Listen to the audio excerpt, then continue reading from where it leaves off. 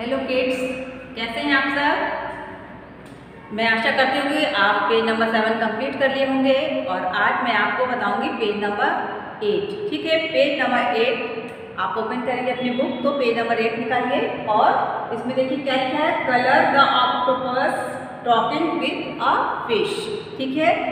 Octopus जो है वो क्या कर रहा है? फ़िश से बात कर रहा है। ठीक है?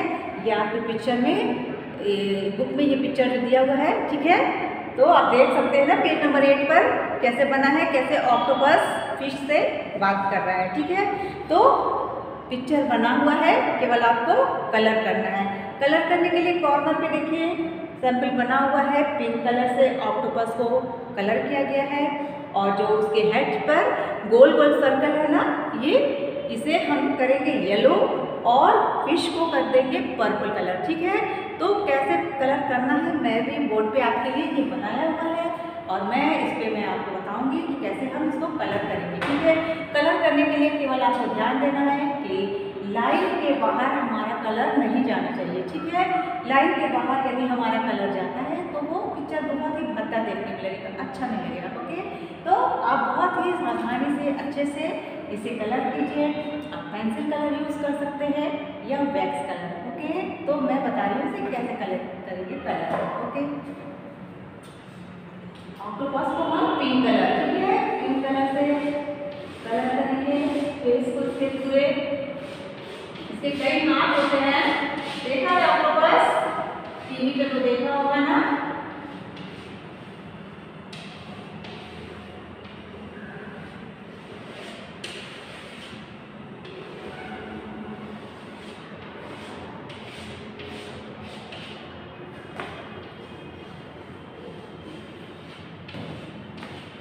ढेर सारे हैंड्स होते हैं ऑक्टोपस के, ठीक है? उसी से वो अपना शिकार करता है करता है, कोई भी छोटा जानवर है तो उसको वो सिर्फ़ अपने हाथ से फंस के पकड़ लेता है। और जब एक भी एक बार कोई भी छोटा जीव उसके जन्म में फंस जाता है तो उसका छूटना नामुमकिन हो जाता है ठीक है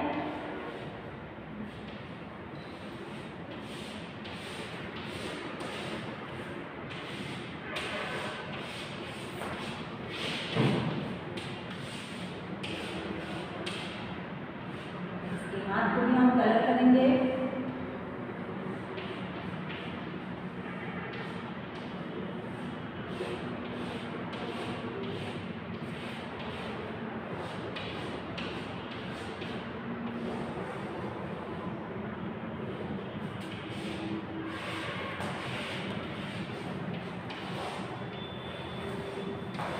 बहुत ही आराम से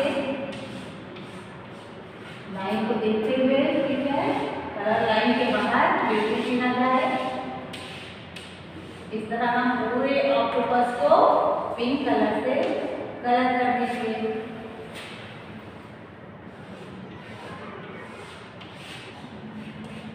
इस तरह हमने ऑक्टोपस को पूरा पिंक कलर से कलर कर दिया है और अब हम इसके हेड पे जो सर्कल बना हुआ है ना, उसको येलो करेंगे और फ़िश को पर्पल कलर से कर देंगे। ठीक है?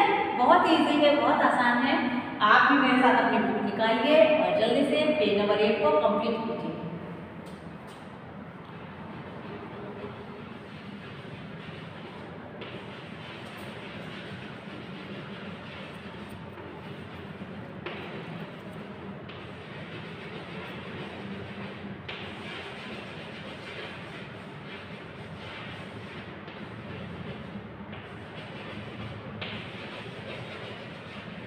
सर्कल को मैंने येलो कर दिया है।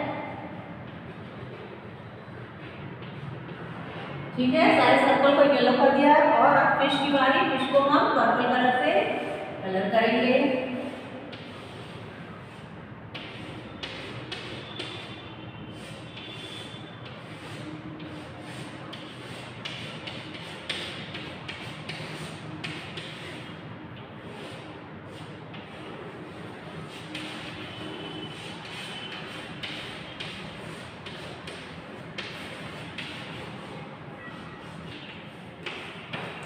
इस तरह हमने फ़िश को भी पर्पल कलर से कलर कर दिया है।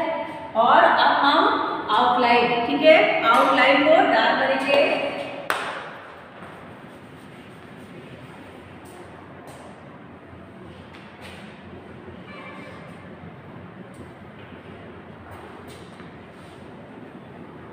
जब हम आउटलाइन को डार्क कर देते हैं तो ये पिक्चर बिल्कुल क्लियर ठीक है? बहुत ही सुंदर दिखाई देता है।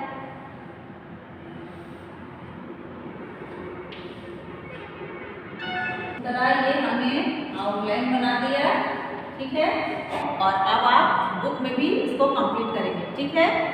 तो अब मिलते हैं नेक्स्ट वीडियो में नेक्स्ट पेज के साथ। Okay bye by Keats